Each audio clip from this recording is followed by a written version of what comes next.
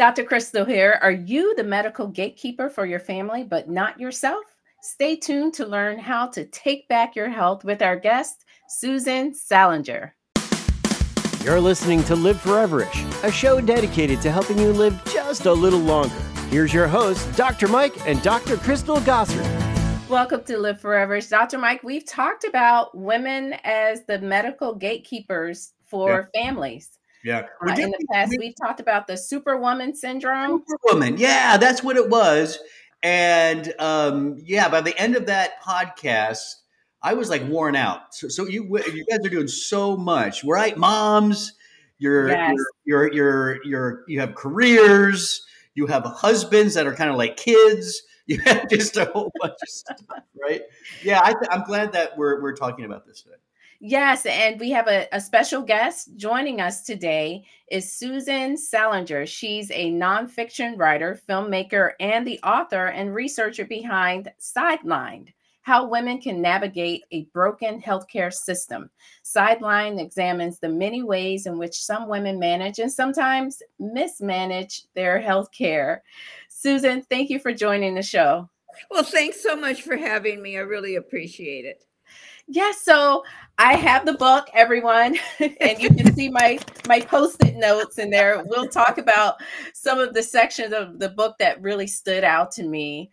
Um, I just want to thank you ahead of time. It's a book that I plan on giving to my my sister, my mom, my aunts, uh, and, and so I just want to hear just a general understanding of what prompted you to write sidelined and why is a book such as yours so important to to my aunts and sister and, and mom and and all the other women in the world?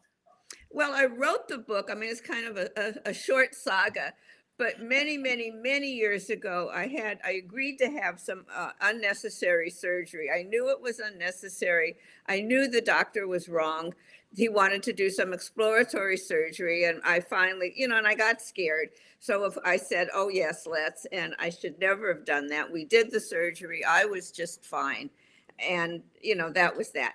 And then many years later after i retired i went back to school and took some classes at ucla and for one of the classes i did a project on women who had had hysterectomies and many of them had agreed to the surgery, even mm-hmm. though they didn't think they needed it. So that kind of acted as a trigger. And I thought to myself, how, how do we as women make our medical decisions? And that's kind of what was the prompt for the book. And what I did then is I interviewed about 50 or 60 women with different diseases. And I wanted to know, you know, what I sort of extrapolated what they had in common. And it turned out to be a book. So that was after 10 years of research, but it did. Right. Um, okay. So there was, I was going to ask you, how long did it take you to gather all the data? Because that's one thing I love about your book is it's data driven there are facts there's yeah. a there are references in the back i mean it's just it you really put it together well and i love that that the women some of them were very transparent so how was that process of kind of gather finding the women and and giving them the courage to share their stories. Well you know it was so interesting i had so the women were so lovely. I went actually I, I, did it on the internet i mean i interviewed them in person but i found them on the internet i just went to different support groups and i said you know hey i'm a writer and i'd love to talk with some of you about your experiences. And i got a ton of replies. Everybody mm. wanted to help other women and wanted to share their experiences. And they were so open and it was so the interviewing process itself and I, I, was really worried about it but it was so easy. And I, I just what i really learned is the best thing to do is to interview women who you don't know a couple of times I inter- tried to interview some friends or even friends of friends, and that didn't mm-hmm. work at all um, because they weren't they weren't able to be as intimate. In fact, one of the women said to me, "Well, I guess I can tell you this because I know I'll never see you again," and she was right. I mean, it was a wonderful way to interview. So I, I could not have asked for a better group of women or a more informative group, a more, you know, a, more helpful group. Let's put yes. it that way. Yeah, yeah. So when you when you started the interviewing process, what was the goal with each? Did, did you kind of know the book at this point beforehand, or did the interviews and their answers drive the book? The interviews and the answers drove the book. What I wanted to do was see how these women made decisions. Why did they do what they decided to do? And so I had no idea. Um, so what I did is once I extrapolated the five or six points that are in the book, then I did some research because, you know, I mean, honestly, I picked these women at random. I didn't know them at all. And I, I didn't know if they were typical or atypical. And I didn't want to put their responses in the book if other women hadn't hadn't made the same decisions for mm-hmm. the same reasons. Mm-hmm. So I did a lot of research, as you noted, and so I found that everything that they had said was supported by you know tons and tons of research. Um, it was really interesting, actually, because yeah. some of some of what I found uh, really surprised me because uh, yeah. I personally don't do some of it. So it was really interesting. So the answers that you got and what ended up in the book are, are very common things. They're not outliers. Exactly. Extremely common, as a matter of fact. And what were what were some of those surprising things that you found as, as you were interviewing, as well as some of the things that you found, kind of those common uh, scenarios? Well, I think the first thing that really surprised me was that women put themselves last. Personally, I don't think I do that, although my I asked my kids if I do that, and they said yes, I do. But I don't feel that I do. Um, but I found that so many women will take care of. Uh, well, the fact I'll tell you, this is lovely. There was a study done and researchers gave women five things to prioritize you know what would they who or what would they take care of first and of course, almost all of them, including myself, would take care of their children first. Second, they took care of their pets, which I really loved. Third, they took care of their elderly parents. And I, I, had to share that with my kids. Being an elderly parent, I thought they put their cats ahead of me. I might have to shoot them. You know? um, fourth, they took care of their significant others or partners. And last, they took care of themselves, yeah. which means a lot of them delayed going to the doctor. And there's one woman's story in the book. Um, she had had a mammogram and they called her she had a suspicious something or another and they called her to come back and she couldn't go in because she, she, was taking care of her kid and it was raining and her husband was out of town and and and and and by the time she got there she had uh, breast cancer that had metastasized it's it's not surprising that women put themselves last i mean we could argue the rest of the ranking whatever but yep. I I was I was I could have predicted. You know, women put themselves last. Yeah, well, apparently, which I didn't know until I did my research, we do 80% of all the caretaking in the world. I mean, that's a heck of a lot of, you know, that's that's worldwide. It transcends cultures. I mean, that's really interesting to me. So that was, you know, the first thing I found that kind it surprised me, but apparently I do it too. And really, I think it's probably so internalized and so unconscious that we're unaware of it. I'm pretty I, sure Dr. Crystal puts herself last. I, I've known her for a long time. You know, I I have this is something we've talked about, you know, as as we mentioned earlier, the superwoman syndrome. Yes. And yeah, there there's a lot of pressure on women, but I am learning your book helped me a lot. I really so just glad. have to say that. Um, and I noticed there's there is a difference how I would approach my health versus my husband. And as I read your book, I, I recognize, you know, when he has a workout schedule and he does not care what's going on, he will stop everything. Yeah. And he will work out. He will right. go and, and and take his time.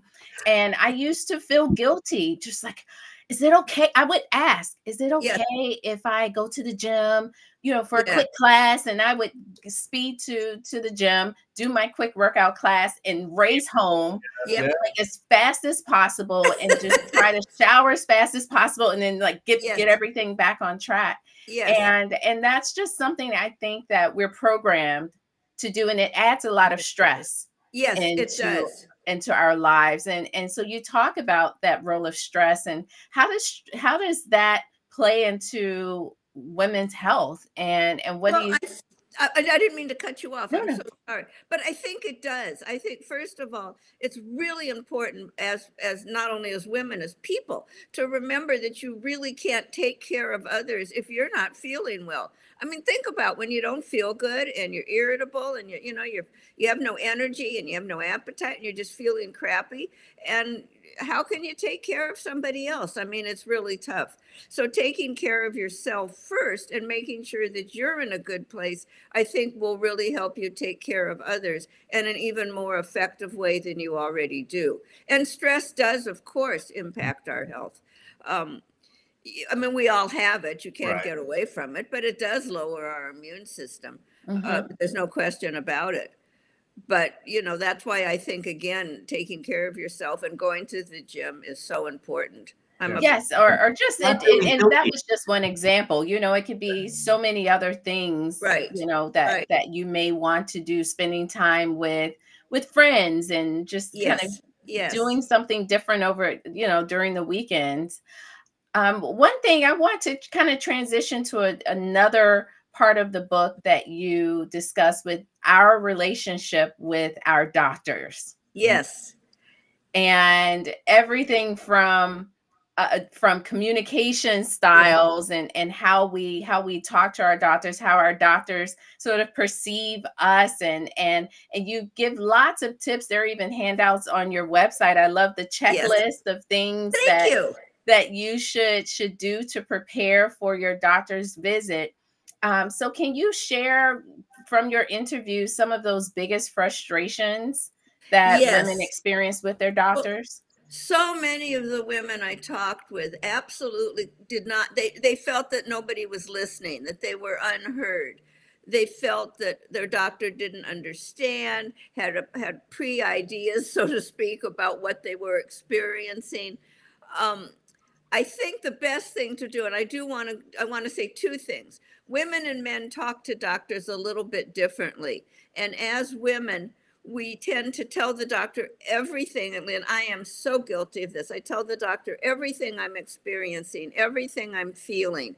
And so sometimes that can skew the conversation. And my physical symptoms can kind of get lost in in in the emotional feelings that I'm that I'm sharing.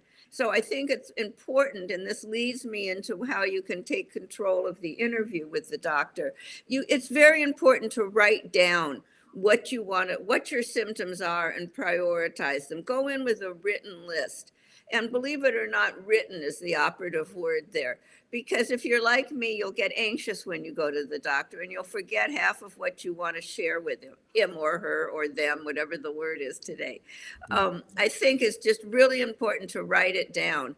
And in fact, I was on a show with a doctor, and she was saying that she prefers it when patients come in with a list. In fact, she told a story about a man that she had examined, and as she was uh, leaving the room, he said, Oh, incidentally, I have this mole on my back. So, of course, you know, she turned around because that was the most important symptom that he'd said during the whole interview. And if Mhm. he'd had a list, she could have read it and, t- and taken care of that first. She would have reprioritized it. So I think that's really important. And I think the second thing, excuse me, but I'm hoarse today. I think the second thing is to ask the doctor for the clinical name of whatever your diagnosis is and have them write it out and spell it for you. Because if you're like me, you know, you can't, particularly with computers today, I can't spell a thing anymore.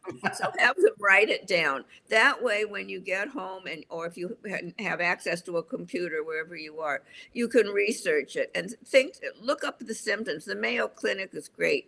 Mayo Clinic, I think it's .org or .net, one of those. And it has an overview of most diseases and it will list the symptoms and see if you feel that, that this is a match. Is this a good match for you? Does it feel right? I mean, listen to your intuition, which is not what I did when I agreed to that surgery. Right. You know, I, I mean, I could have waited a week. I could have gotten a second opinion. There was a ton of things I could have done that I didn't do. So don't be like me. That's Mhm. that's the message. I, I'd like to share my own. See, I'm a clinician as well, and I'll share my own experience. So I, I went through medical school in the 90s and went through my residency in the mid 90s, and I actually I saw this firsthand.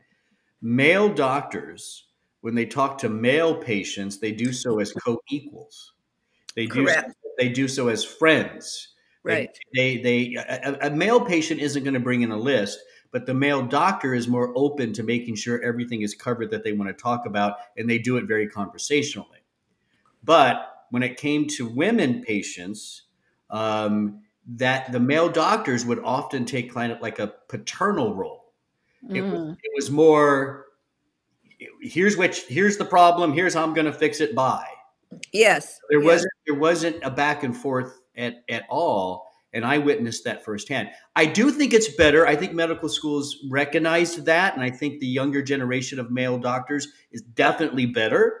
But my generation, and we're still out there practicing. No, Yeah. we, we were we were taught paternal with women, friends with guys. Huh. Yeah. Do you think that has anything to do with the way women communicate? Because if I'm sitting there and telling you that I'm bursting into tears because I can't take my kids to here or there because I don't feel well, th- that automatically is going to make you, you know, more paternal. I would think. I think it's I think it's both. I think m- the older generation of male doctors go into that examine examination room already with that idea. Oh, this is Mrs. So and So. Da da da. Let me just get this done. da, da." Yes. So they're yes. already going in with that attitude, and then the female patient doesn't speak up as much as she probably should. So it just snowballs. Got it. Okay, that's interesting. That's really interesting to me. Um, and Yeah, I do and- think it's it's gotten better. I would assume. Yeah. Crystal, And don't, and don't don't get me. I don't want to say we were trained to do that. It was just what we saw, what we experienced. And when you're a young doctor, what do you do? You emulate. You you you you mimic Right. what you- what you see. yes, yes, Yeah, so I, I think this it's just such an important topic. And of course, we're generalizing some Yeah, of these yeah. things. but I, I like that the facts that you have in the statistics that you share uh, about women and e- even with not not getting the routine mammograms, not recognizing the symptoms of the heart attack yes, and, yes. and, and how how there are differences in the statistics to to show that there is a difference but many of the tips that you share i have to say for for the men listening this is for you too yeah, especially when you are finding you're in a different age group.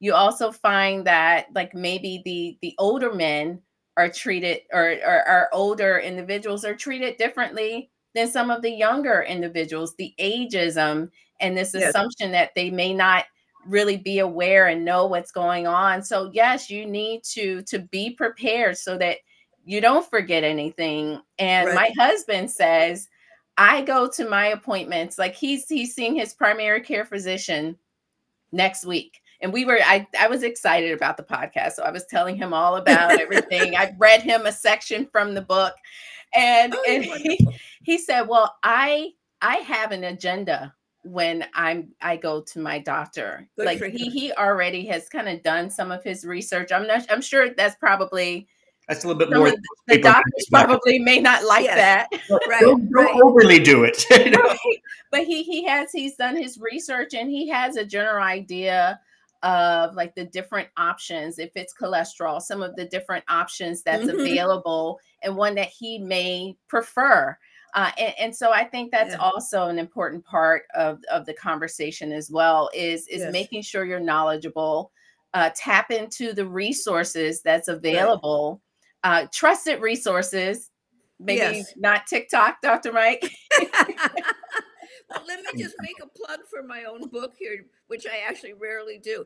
But at the back of the book, there's a wonderful resource list. I've done your research for you, oh, and I've listed a bunch of the websites that I used for research that I found reliable. And just so everybody knows, the way I researched is when I came up with a, a statistic that said do this or don't do that, I, I tried to find two or three other sources that said the same thing because you know, I didn't, how do I know that the research is valid? So I tried to validate everything that I, that I wrote down and published.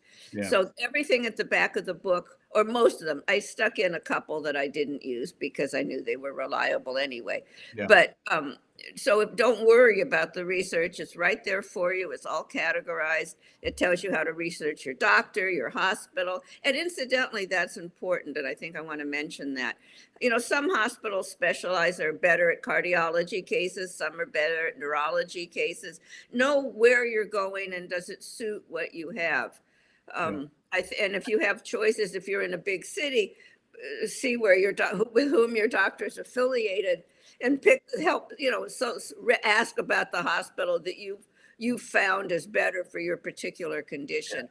I, I like that. I and i you know i think you know hearing all this and knowing my experience with physicians myself we need to come into that doctor patient relationship more as co-equals with more conversational where both yep. sides have a time to speak and both sides have a time to listen um, we don't we we don't want to be paternal as physicians, but at the same time, we don't want patients coming in demanding things either because they right. don't always know just based on of course their own their own research. and the last thing I would say, if you have if you're trying your best to be have that conversation to, to be heard and you feel like you're not, there's nothing wrong with firing your doctor and finding another one let me expand on that for a minute because again that's very this is very important in in helping focus the doctor visit. We talked about writing down your agenda and prioritizing it.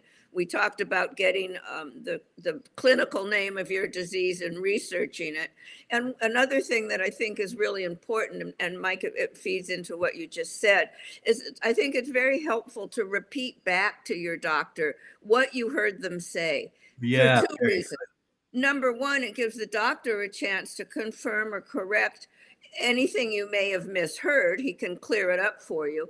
And secondly, it gives them a chance to make sure that they said what they meant to say. I mean, we all misspeak. So it, it I, I, a, a mind-boggling statistic to me was that 85% of women leave the doctor's office without fully understanding what they've been told.